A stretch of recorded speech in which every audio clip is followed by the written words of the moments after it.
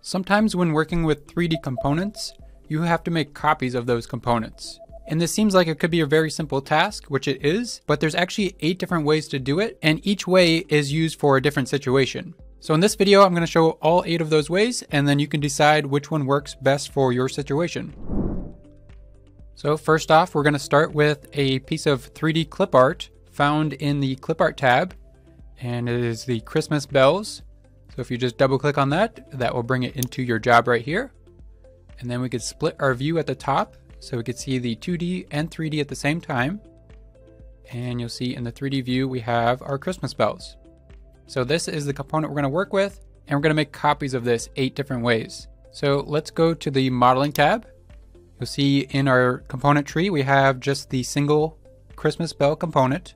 And before we get started, I just want to mention everything I'm about to show you in this lesson can be done in VCarve Desktop, VCarve Pro, or Aspire, with exception to method number 8, that will be Aspire only. And also the tools that I use in the modeling tab that are down here in this lesson are only on the modeling tab in Aspire, but these same tools can be accessed in the drawing tab at the very bottom from VCarve.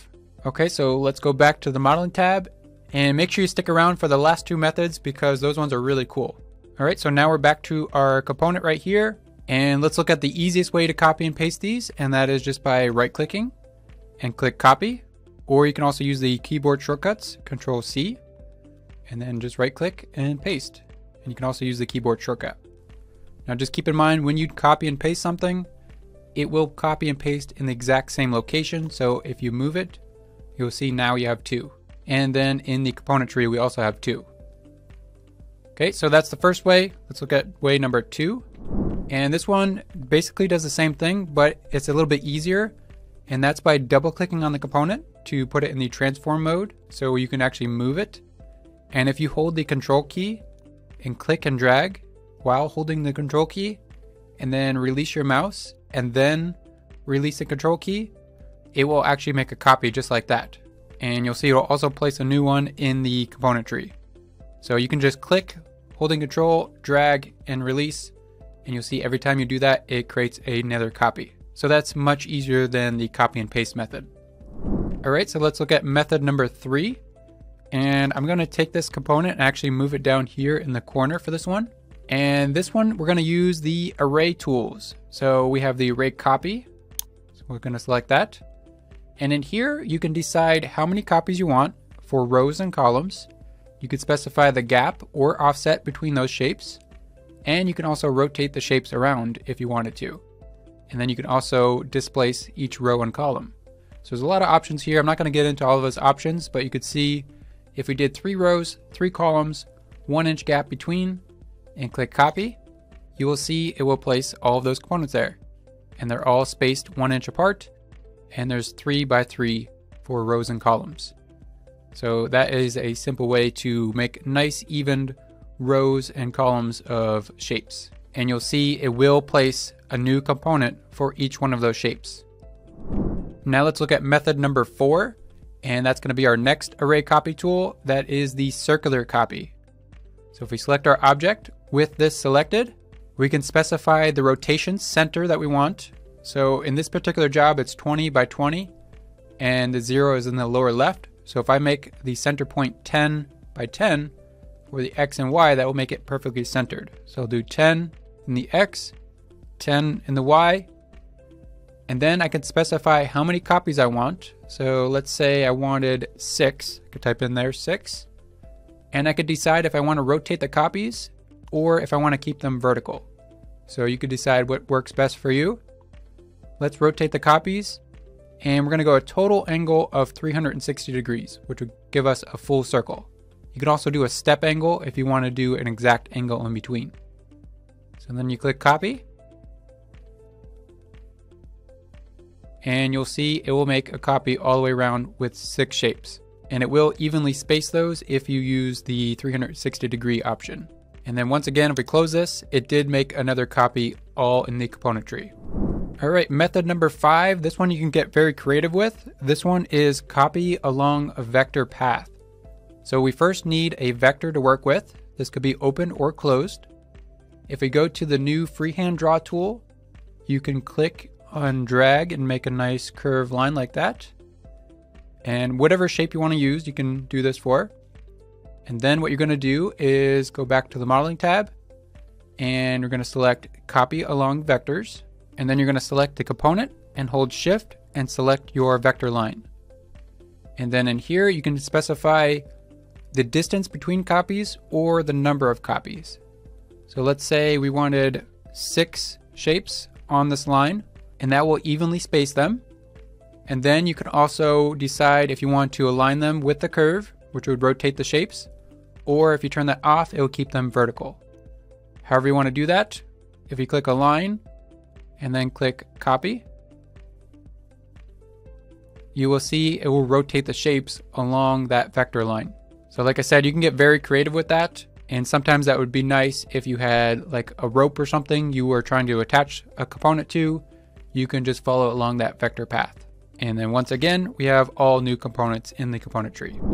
Okay, method number six is the nesting tool. So if we click nesting and we select our object, this one you can usually fill in your project much more with over the array copy because the nesting tool will account for the shape of the object. So you can specify your tool diameter, the clearance you want in between. So let's say we wanted a half inch clearance in between and we're using a quarter inch tool. And we wanted a border gap around the edge to be a half inch. And then you can specify even more if you want to rotate the parts, if you want to mirror the parts, and if you want the best fitment possible, I usually go down to like a one degree step angle. Just keep in mind this will take a little bit of time to calculate because it's got to rotate all the shapes one degree. And if you turn this off, it will leave them all the same angle that they are currently. So that will depend on your grain direction and how you want those parts to rotate. You can even do like 90 degrees, we'll say. All right, and then we can specify where you want to nest from. We can go lower left corner, and then you can go along the X direction or the Y direction and then you just have to specify the number of copies. Unfortunately, there is not a button to say just fill up the sheet. You have to kind of guess how many you're going to fit in here. So let's try maybe 15. Click apply, and that will put a number there, 15, and then just click preview. And you'll see Vectric will do its best within the settings you set there to fill them up with the number of copies you selected. So you can see this does not look very optimized, but we can just change around some settings and we can get that further optimized. So personally, I would lower the clearance down. We'll try 0.1 and click preview. And there we go, it fits a little bit more in there. If you want to fit even more, I would recommend lowering the rotation step angle. We rotated it down to one degree and click preview, You'll see every time you do that, it will start to fit more and more. So we could still further optimize this even better because you see we have a little bit of blank space here, but that's basically how the nesting feature works. And if it does create any additional copies that cannot fit on this sheet, it will add in a brand new sheet to work with.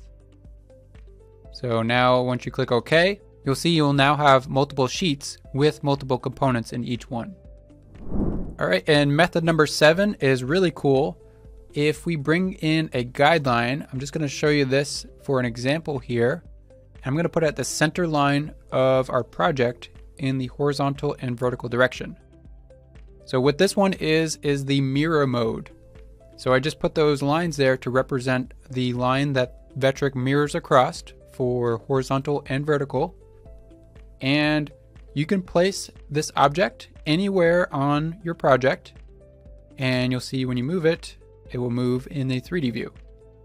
But right now we can move it anywhere we want on the job and that's exactly where it will be.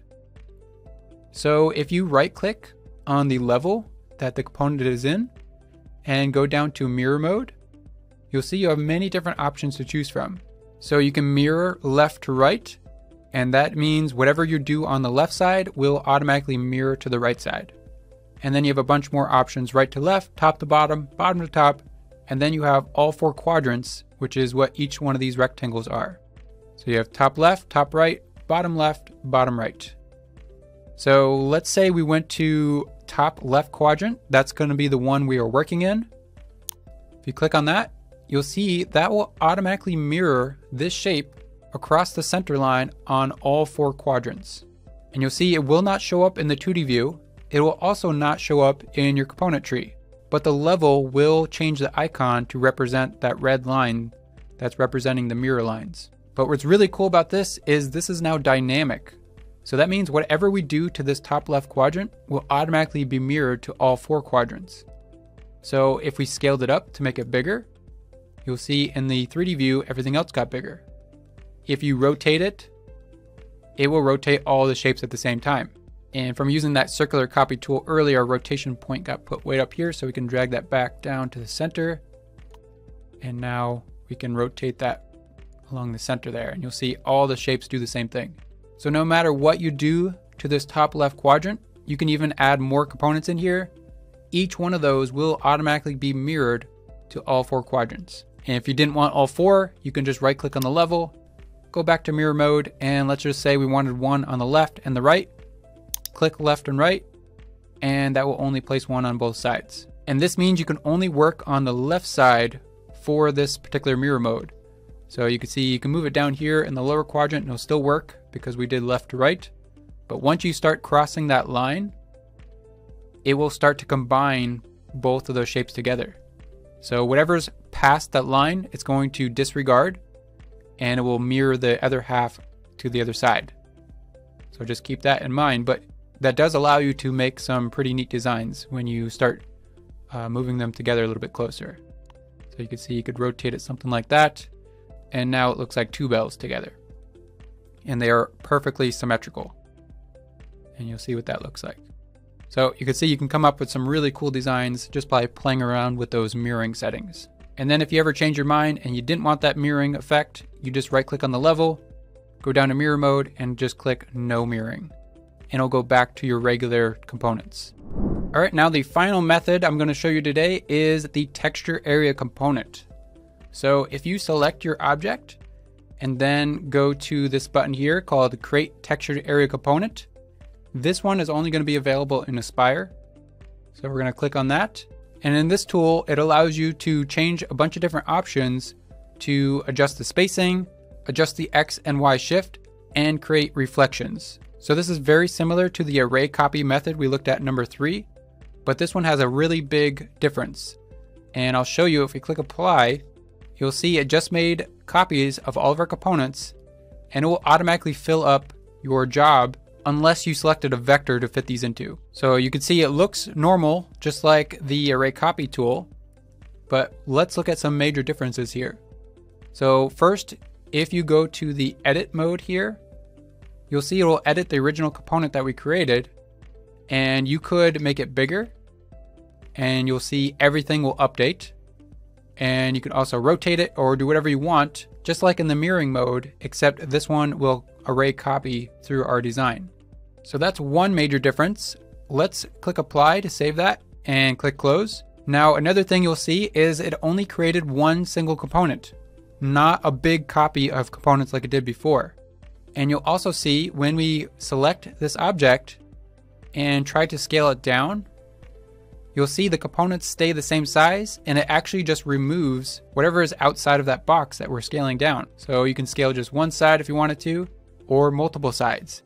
You'll see the bigger you make it, the more components it'll fill up. So this is like making a pattern and it'll keep the components the same size no matter how big you scale it. So that is one major difference of the texture area component over the array copy.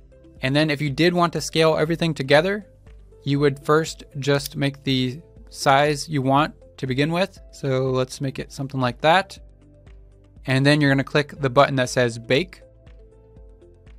And now when you do that and you go to scale, you can see now all of the components get bigger and it does not add or subtract any additional ones. All right, so those are eight different ways you can copy components.